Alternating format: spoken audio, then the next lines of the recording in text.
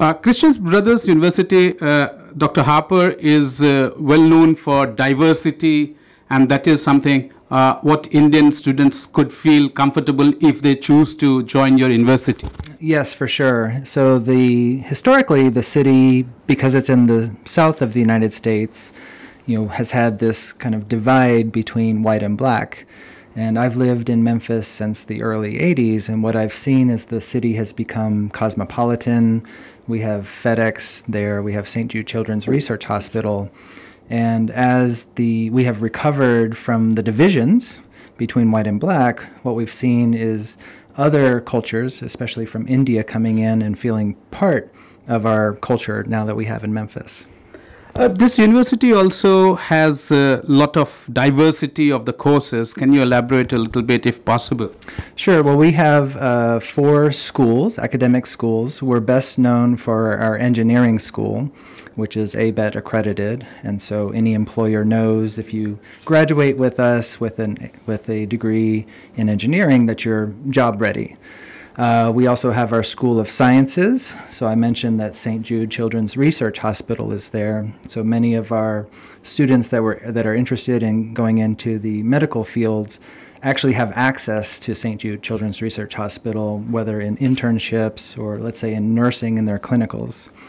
We also have a business school uh, with all of the majors you would think of in a business school.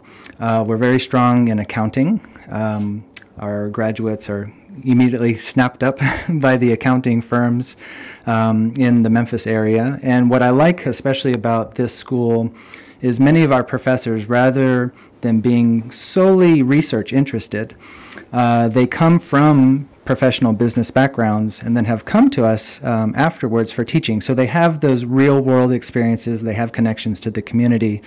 And so the students who go there through their internships, just through the wealth of knowledge that the, that the professors have, uh, really find themselves ready for the you know, working world. Um, and then the last school would be the School of Arts, which is not fine arts. It's really, we have a fine arts program, but it really encompasses everything else that you would see in languages, literature, history, psychology, um, and the fine arts. So in that school, our psychology major is, is the most popular. We do have a neuroscience lab, for example. Um, and then one of our fastest growing programs would be our um, graphic design program. So, example, uh, three weeks ago, we had a group of students who, through their professor, they were able to have a graphic displayed in Times Square in New York. Two questions. One is Memphis, Tennessee is something, a very pristine uh, environmentally what we know about it's the most romantic place. If I may use the word. But at the same time more important. Uh, the the student uptake and uh, and the student to teachers uh, proportion is quite uh, interesting where a student uh, I understand can get lot uh, better attention to the to the detail to the study to the academics uh, because the teachers proportionate per to the number of students is very decent and very very respectful. Right. So our total student population is under 2000 um, so each in each class um, we have an 11 to 1 student to faculty ratio. And what you find is as the students progress, their classes become smaller. And so you would have a class, let's say in the second, third, fourth year, where the students um, are sitting there with six or, ever, uh, six or seven other students really having discussions with their professors, you know, not just sitting in the back of the room taking notes and taking exams. It really is a dialogue between the professors and the students. Um, you were mentioning, you know, the the sort of cultural in Memphis, and so you may have heard of Southern hospitality, and you know, I definitely feel that in Memphis when I go away and come back. It is a sense of comfort where people smile at each other on the street people say good morning to you know complete strangers or if you're standing in line at the grocery store people will ha- start having conversations. So it's a place where it's easy to feel comfortable. It's easy to feel attached to it. And um, i was just telling my colleagues here that i've left memphis three times. And each time i get homesick and i want to come back because uh, it's where i feel most comfortable in the world. Uh, does that mean that uh Indian student can find it, apart from study, a good place to enjoy. And at the same time, the problem with Indian student will be the visa issue. How to resolve that because that will be great concern. Even though you provide a very good environment, very good homely environment, and as you said, a very good teaching environment with the number of uh, students to teacher ratio and the quality and the diversity. Well, so first on campus, um, 47% of our student population is minority. So no one is going to feel alone on our campus. Now, taking that wider into Memphis, um, with companies like FedEx, like St. Jude Children's Research Hospital, there is a large Indian community, and there are areas of Memphis where you find Indian grocery stores, Indian restaurants. So it's not something that, you know, Indian students will come in and they'll find a community, both on campus and in the Memphis greater area.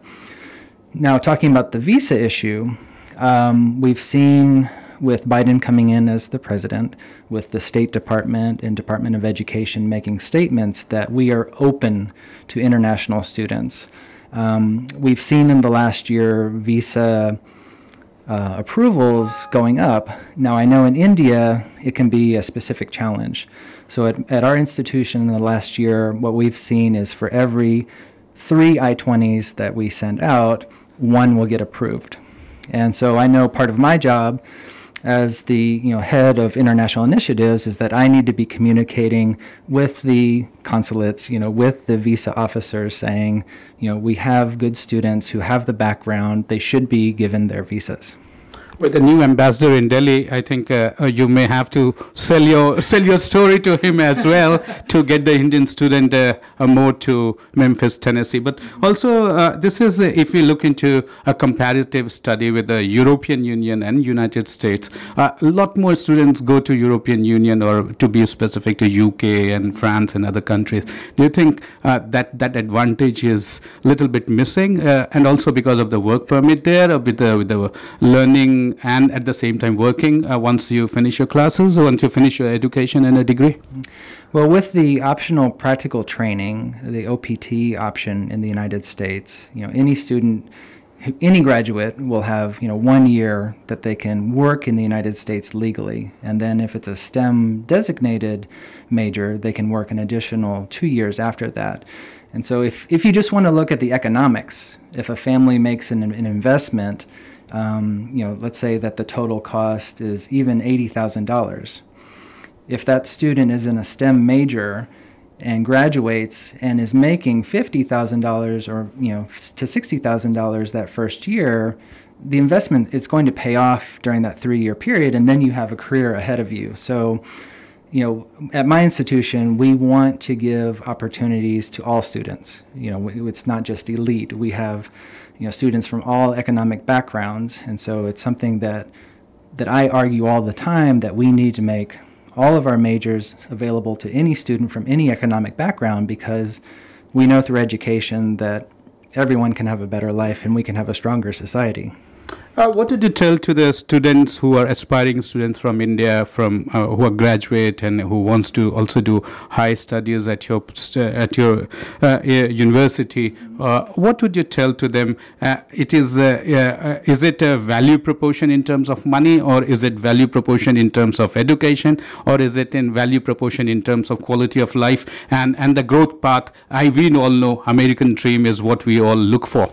Right. Well, so U.S. News and World Reports, you know, says that Christian Brothers is a best value university. So if you look at the investment, the cost of going, and the outcomes, so whether it is quality of life, whether it is you know your academic dreams, I think that you can find that at Christian Brothers. It's a place where, because of those relationships that the students form with their professors, with the small campus environment where everyone feels welcomed, that you know in any one of those categories you mentioned, there can be a positive outcome. Uh, one last question: Do you have a India liaison office in Bom- in Delhi or in other cities uh, or, or, in Mumbai that could assist students who who, who could uh, be in direct contact in person? They could uh, because I can understand that you have to travel worldwide. Right. So I'm here uh, uh, this week um, to form our partnership with uh, UVG, and what I've found is that um, I'm working with very good people. Um, that that we share common interests that we need to be in communication with the students. We need to be in communication with the families. We need to help them understand what the cultural and academic differences are in the United States and especially at CBU. And having that face to face partnership just makes the world of difference. We don't have any students that get lost in translation, as we say. Thank you very much for your time and uh, uh, trying to explain to our Indian viewers and at the same time Indian students about why they should come to Christian Brothers University. As they say, American dream is what we all aspire for. Here it is, uh, Dr. Uh, Harper telling us all the details why students should come for the undergraduate course and for the senior courses and what he has told us very categorically the value proportion in terms of money investment that you make and the gains that you could get out of it. With camera person Uday Negi, Pranab Prakhar reporting for Vision Television World.